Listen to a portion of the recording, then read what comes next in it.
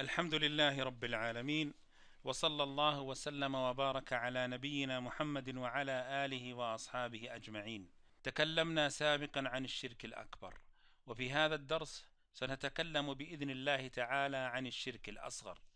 فنبتدئ بتعريف الشرك الأصغر والواقع أن تعريف الشرك الأصغر غير منضبط لكثرة أفراده وتنوعه.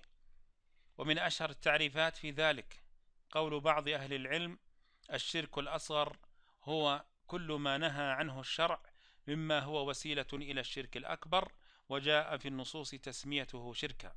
وقد عرفه بعض أهل العلم بقوله ما ثبت شرعا إطلاق اسم الشرك أو الكفر عليه وعلم من دلالات الشرع عدم خروج صاحبه من الدين أو بلوغ درجة الشرك الأكبر.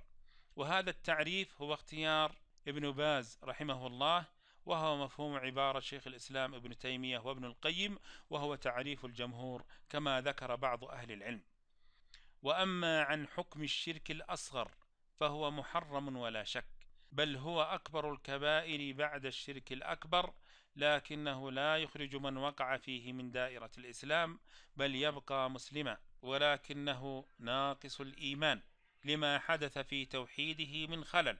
وصاحبه إن لقي الله تعالى على ذلك فهو تحت مشيئة الله. إن شاء عفى عنه وأدخله الجنة وإن شاء عذبه ويكون بعد ذلك إلى الجنة. على أن من العلماء من قال إن الشرك الأصغر لا يغفر إلا بتوبة لعموم قوله تعالى إن الله لا يغفر أن يشرك به. لكن يدخل تحت الموازنة بخلاف الشرك الأكبر الذي يحبط كل الأعمال. فإن حصل معه حسنات راجحة على ذنوبه دخل الجنة وإلا دخل النار. وقال بعض العلماء الشرك لا يغفر منه شيء سواء كان أكبر أم أصغر. وذلك على مقتضى القرآن. وإن كان صاحب الشرك الأصغر يموت مسلما لكن شركه لا يغفر له بل يعاقب عليه وإن دخل بعد ذلك الجنة. مما يدل على خطورة الأمر. نسأل الله العافية والسلامة. وللشرك الأصغر أنواع فمنها الشرك في النيات ومنها الشرك في الألفاظ. وسنتكلم عنهما مع ذكر بعض الأمثلة. فنبتدئ بالكلام عن الشرك في النيات والمقاصد وهو ما يسمى بالشرك الخفي لأنه غير ظاهر وهو الذي قال عنه ابن القيم رحمه الله فذلك البحر الذي لا ساحل له وقل من ينجو منه فمن أراد بعمله غير وجه الله ونوى شيئا غير التقرب إليه وطلب الجزاء منه فقد أشرك في نيته وإرادته. ومن أمثلة هذا النوع الرياء والسمعة وإرادة الإنسان بعمله الدنيا. أما الرياء فهو لما يرى من العمل كالصلاة مثلا. وهو أن يظهر عبادة لقصد رؤية الناس فيحمدونه عليها. وهو الذي حذر منه النبي صلى الله عليه وسلم بقوله إن أخوف ما أخاف عليكم الشرك الأصغر. قالوا يا رسول الله وما الشرك الأصغر؟ قال الرياء. وأما السمعة فلما يسمع كالوعظ والذكر وقراءة القرآن وكأن يعمل الإنسان العمل الصالح ثم يذهب فيتحدث به ليكسب السمعة الحسنة. والفرق بين الرياء والسمعة أن الرياء يتعلق بحاسة البصر بينما السمعة تتعلق بحاسة السمع. وقد قال العز بن عبد السلام الرياء أن يعمل لغير الله والسمعة أن يخفي عمله لله ثم يحدث به الناس. ومما ينبغى التنبه له أن الرياء والسمعة قد يكون شركا أكبر وقد يكون شركا أصغر فإن دخل الرياء والسمعة في أساس العمل بمعنى أنه لم يأتي بأصل العبادة من صلاة أو ذكر أو قراءة أو صدقة أو صلة إلا لأجل الرياء والسمعة فهذا شرك أكبر وهو شرك المنافقين.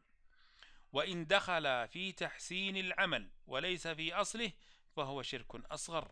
وقد حذر الله عز وجل منهما فقال عز من قائل فمن كان يرجو لقاء ربه فليعمل عملا صالحا ولا يشرك بعبادة ربه أحدا وقال صلى الله عليه وسلم من سمع سمع الله به ومن راى راى الله به وهذه عقوبة المرائي فمن سمع الناس بعمله ليكرموه سمع الله الناس به يوم القيامة وفضحه على رؤوس الأشهاد فيطلع الناس على فساد قصده مع ما ينتظره من الخزي والعذاب الأليم يوم القيامة.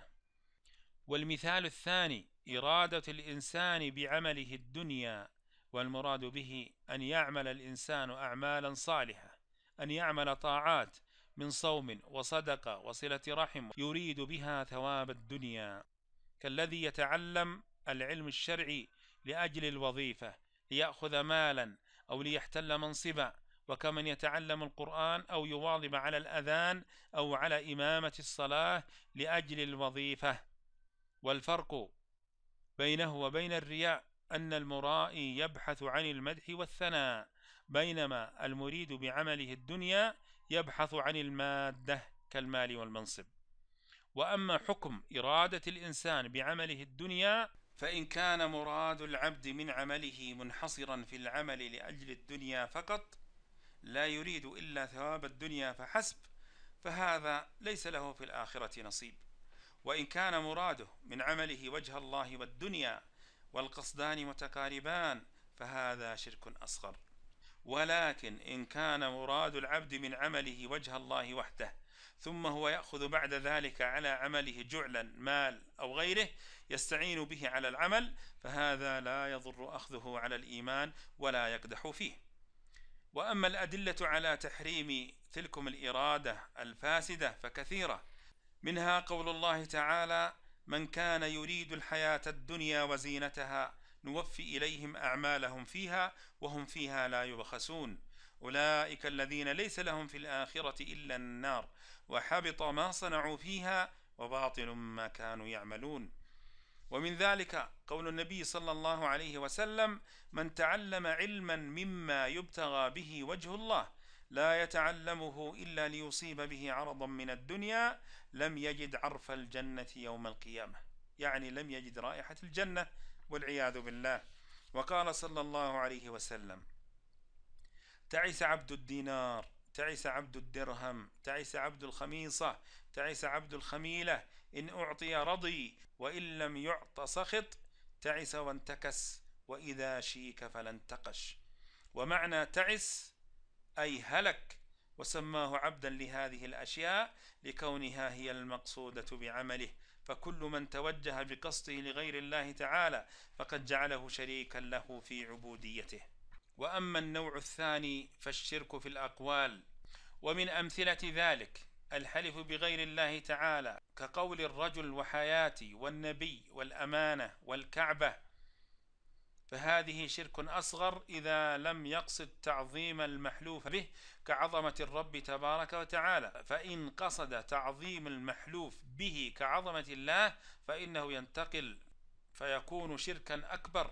قال صلى الله عليه وسلم من حلف بغير الله فقد كفر أو أشرك. وقال صلى الله عليه وسلم معلما لنا ومشرعا من كان حالفا فليحلف بالله أو ليصمت. ومن أمثلة ذلك قول ما شاء الله وشئت ولولا الله وأنت. وقولهم هذا من الله وفلان أو هذا من الله ومنك. وتكون هذه العبارات من الشرك الأصغر إذا لم يقصد بها التسوية بين المخلوق والخالق في التعظيم. فإن قصد التعظيم فإنه ينتقل فيكون شركا أكبر. قال تعالى فلا تجعلوا لله أندادا وأنتم تعلمون قال ابن عباس عند هذه الآية الأنداد هو الشرك وهو قول الرجل لصاحبه ما شاء الله وشئت وقول الرجل لولا الله وفلان هذا كله شرك. وقد علمنا صلى الله عليه وسلم كيف نقول فقال لا تقولوا ما شاء الله وشاء فلان ولكن قولوا ما شاء الله ثم شاء فلان. فنأتي بحرف يفيد الترتيب والتراخي وعدم المساواة فنقول ما شاء الله ثم شئت لولا الله ثم فلان. ومن الأمثلة أيضا مسبة الدهر والريح. الدهر ظرف للحوادث بأيامه ولياليه وشهوره وسنينه وهو خلق من خلق الله تعالى. وما يقع فيه من المصائب والأمراض هو بتدبير الله تعالى. والدهر ليس له شيء من ذلك. فلا يجوز أن يسب لأن سب الدهر هو في حقيقة الأمر سب لله تعالى الذي خلقه.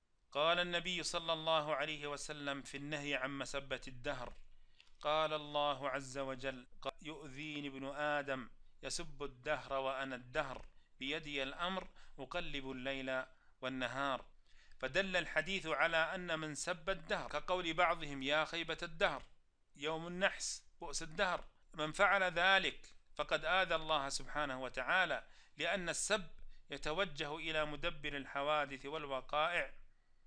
والدهر إنما هو ظرف ومحل وخلق مدبر ليس له شيء من التدبير.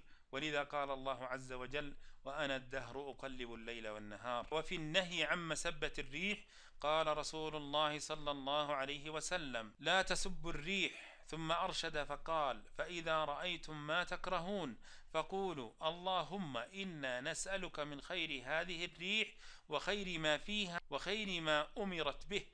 ونعوذ بك من شر هذه الريح وشر ما فيها وشر ما أمرت به. وذلك لأن الريح إنما تهب بأمر الله تعالى وتدبيره فهو الذي أوجدها وأمرها لأن سب الريح وسب الدهر يعودان إلى مسبة الخالق الذي دبر هذه الكائنات.